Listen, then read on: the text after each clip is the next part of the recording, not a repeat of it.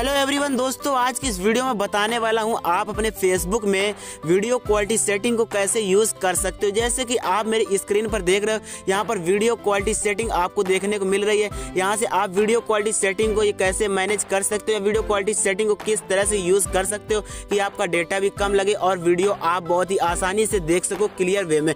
सो इसके लिए आपको वीडियो को फुल वॉच करना होगा। वीडियो जरा सा स्किप मत ताकि दोस्तों इन्फॉर्मेशन में आपको कोई प्रॉब्लम ना हो। इस वीडियो में वीडियो क्वालिटी सेटिंग को पूरा एक्सप्लेन करने वाला हूँ दोस्तों। अगर आपको वीडियो अच्छी लगे तो सबसे पहले आपको वीडियो को लाइक ज़रूर करना होगा। सो गाइस चलते हैं वीडियो करते स्टार्ट सबसे पहले दोस्तों, आपको करना क्या होगा? यहाँ से आपको सबसे पहले अपने फेसबुक को खोल लेना होगा। जैसे आप फेसबुक पर क्लिक करते हो फेसबुक पर क्लिक करने के बाद लाइक कुछ इस तरह से इंटरफेस आता है। आपकी प्रोफ़ाइल आपके सामने खुल करके आ जाती है। फिर यहाँ पर आपको राइट हैंड साइड कॉर्नर पर थ्री लाइन्स देखने को मिलती है। इस पर आपको क्लिक करना हो जैसे आप थ्री लाइन्स पर क्लिक करते हो क्लिक करने के बाद लाइक कुछ इस तरह से इंटरफेस आता है। इसके बाद आपको स्क्रॉल डाउन करके नीचे जाना फिर यहाँ पर आपको एक ऑप्शन देखने को मिलता है सेटिंग एंड प्राइवेसी। इस पर आपको क्लिक करना हो। जैसे आप सेटिंग एंड प्राइवेसी पर क्लिक करते हो, फिर से एक ऑप्शन आपको देखने को मिलता है जस्ट उसके नीचे सेटिंग का। इस पर आपको क्लिक करना हो। जैसे आप सेटिंग वाले ऑप्शन पर क्लिक करते हो, फिर यहाँ से आपको स्क्रॉल डाउन करके नीचे आना नीचे आने के बाद एक ऑप्शन आपको देखने को मिलता है। नीचे आओ, यहाँ पर आपको एक ऑप्शन देखने को मिलेगा प्रेफरेंसेस।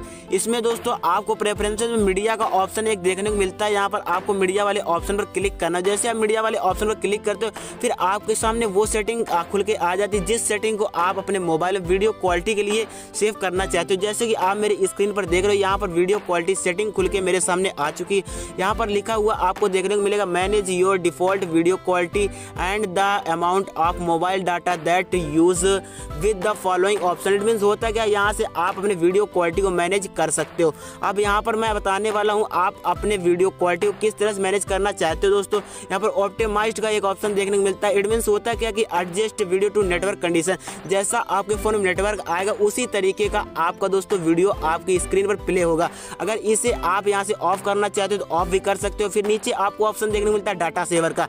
इसका मीन्स क्या होता है use up to forty less data by reducing video quality इसका मीन्स ये होता है दोस्तों, आपका डेटा बहुत ही कम यूज़ होगा। अगर इसे आप इनेबल कर लेते हो यहाँ से, दोस्तों, आपकी जो वीडियो होगी, वो आपकी उतनी बेस्ट नहीं चलेगी। दोस्तों, अगर आपका डेटा कम यूज़ होगा तो उसकी क्वालिटी उतनी अच्छी नहीं होगी। तो अपने अकॉर्डिंग यहाँ से आप सेव कर सकते हो। जैसे कि दोस्तों दोस्तों, यहाँ पर मैंने वीडियो क्वालिटी सेटिंग को पूरा एक्सप्लेन कर दिया है। आप अपने अकॉर्डिंग यहाँ से सेव कर लेना होगा। दोस्तों, आज की वीडियो में इतना ही। दोस्तों, आपको वीडियो जैसी भी लगे, अपनी राय कमेंट सेक्शन में कमेंट करके ज़रूर बताएँ। मिलते हैं फिर से एक और इंटरेस्टिंग नेक्स्ट वीडियो में।